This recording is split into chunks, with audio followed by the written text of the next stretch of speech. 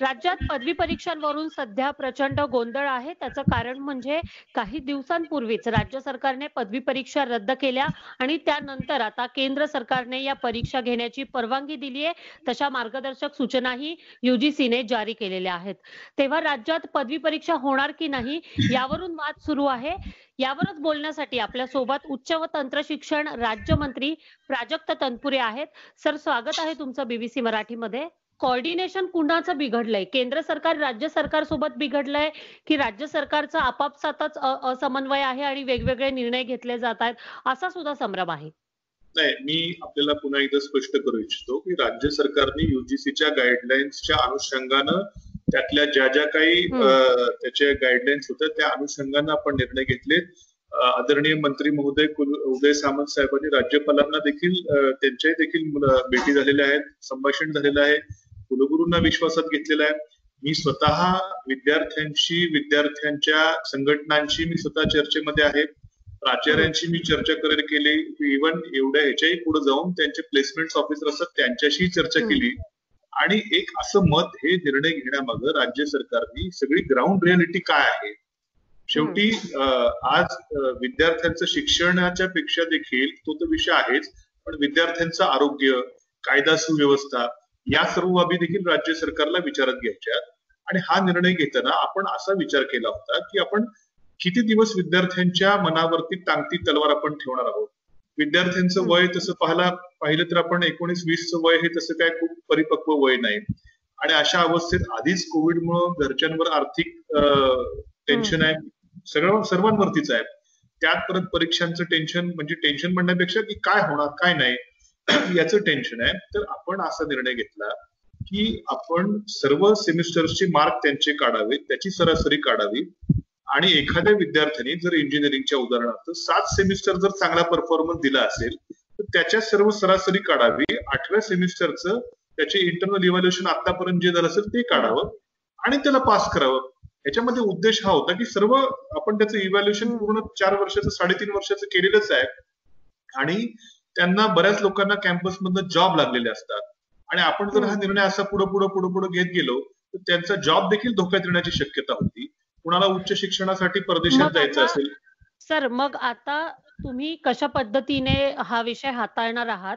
यापुढे केंद्र सरकारशी किंवा युजीसीची चर्चा होणार आहे की काही वेगळा मार्ग सरकार विचार करत आहे नाही मला एवढंच सांगायचं की घोळ आपण मगाशी शब्द वापरला राज्य सरकारने काय घोळ घातलेला नाही किंवा कुठं कम्युनिकेशनचा अभाव देखील नाही.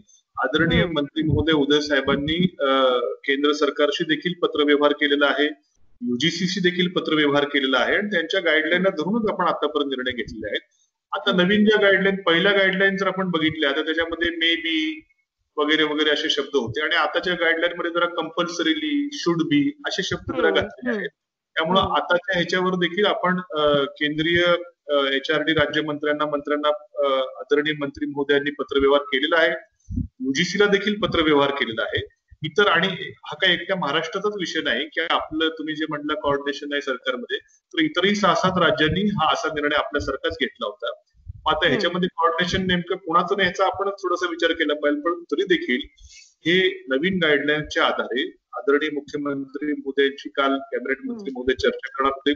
इतरही राज्यांचा काय निर्णय होतो त्याच्याही थोडस आपल्याला बघावं लागेल. आणि भावनेच्या भरात काहीतरी निर्णय घेण्यापेक्षा उपस्थित आपण विद्यार्थ्यांचा संभ्रम लवकर दूर करू अशी माझी देखील अपेक्षा आहे.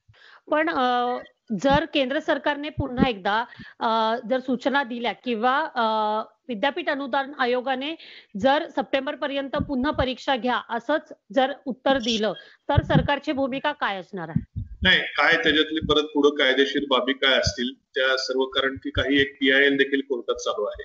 तर परत अजून जर ह्याच्या असेल तर कायदेशीर बाबींचा व्यवस्थित आढावा घेऊन आपण पुढची स्टेप घेऊयात जे की विद्यार्थ्यांच्या हितासाठीच असेल. आजपर्यंत सरकार विद्यार्थ्यांच्या व्यापक हिताचाच विचार करत आलेला आहे आपल्या भूमिकेवर ठाम होतं. इथून पुढे देखील आता नवीन गाईडलाईनच्या अनुषंगानं काय कायदेशीर बाबी असतील त्यांना देखील आपण कम्युनिकेट केलेलं आहे केंद्राला. त्यांच्याकडनं काय आहे तेही बघावं लागेल आणि त्यानुसार आपण व्यवस्थित निर्णय घेऊया निश्चित दुसरा प्रश्न मोठा जो आहे तो एटीकेटीच्या विद्यार्थ्यांचा आहे. तर त्याबाबत काय निर्णय झालाय आतापर्यंत? त्याच तर मी आपल्याला सांगतो की आम्ही मागच्या मीटिंगमध्ये आम्ही विषय घेतलेला.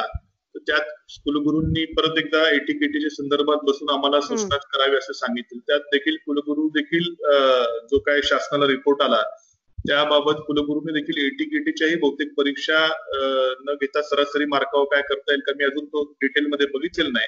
परंतु असा कुलगुरूंनी अहवाल दिलाय. परंतु माझ्यासमोर ह्यांची युजीसीच्या ज्या नवीन नवीन गाईडलाईन्स आहेत त्याच्यामध्ये त्यांनी त्यांनी एटीकेटीच्या बाबतीत अत्यंत स्पष्ट शब्दात लिहिलेलं आहे की त्यांची तिसरी गाईडलाईन आहे की the students of terminal semester or final year students having backlog should compulsorily be evaluated conducting Hmm. examination म्हणजे कंपल्सरीली हा शब्द त्या गाईडलाईन्समध्ये युजीसीनी.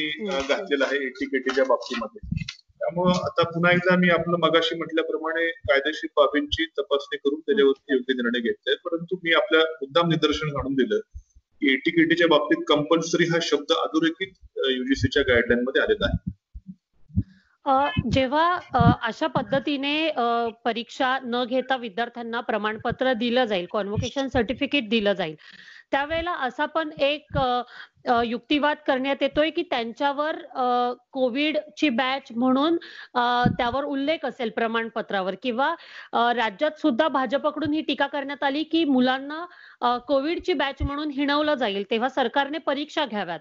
तर यावर कशा पद्धतीने प्रमाणपत्र असणार आहे?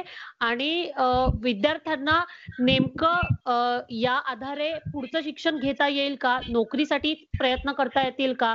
याबाबत काय विचार झालाय नाही आता हा आपण म्हटला भाजपकडनं हा प्रचार चालू आहे खरं की परीक्षा. घ्यावा जेणेकरून कोविडचा मुद्दा कोविड बॅच वगैरे वगैरे. तर मला एक गोष्ट कळत नाही हा मुद्दा आम्ही चर्चा करताना कुलगुरूंची चर्चा करताना हाही मुद्दा धरून चर्चा केलेली आहे मला आपण सांगा जेव्हा एखाद्या अभियांत्रिकीचा विद्यार्थी हा आठ सेमिस्टरचा किंवा एखादा बीकॉमचा विद्यार्थी असेल त्याला सहा. सेमिस्टर आहेत त्यांनी आतापर्यंतच्या पाच सेमिस्टरमध्ये जर एखाद्या विद्यार्थ्यांनी थ्रू आउट फर्स्ट क्लास मिळवला असेल आणि त्याची सरासरी घेऊन जर आम्ही आम्ही काय त्याचं फक्त काय आतापर्यंतचा साडे अडीच वर्षाचा किंवा इंजिनिअरिंगच्या विद्यार्थ्याबाबत साडेतीन वर्षाचा हे इव्हॅल्युएशन झालेलं आहे. आणि हे अं, व्यवस्थित सर्व इव्हॅल्युएशन त्याचं परीक्षा देऊन झालेलं आहे.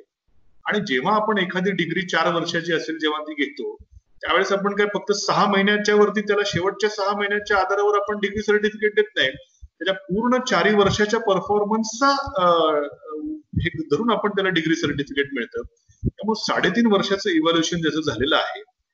शेवटच्या सेमिस्टरचं देखील इंटरनल इव्हॅल्युएशन झालेलं आहे त्याला मला वाटत नाही की प्रॉपर इव्हॅल्युएशन होऊन जर त्याला डिग्री सर्टिफिकेट मिळणार असेल. तर त्याला कोविड बॅच कोविड हे म्हणून असं काही हिणवलं जाईल पुढे किंवा काय असं मुळात सुतराम शक्यता मला वाटत नाही आणि त्याही उपर आपण जाऊन आपल्या निर्णयामध्ये आपण असं सांगितलेलं की ज्या विद्यार्थ्याला हे मान्य नसेल की कोविड परिस्थिती सुधारल्यानंतर त्याला आपण परीक्षा घ्यायचा चान्स देतो आपण.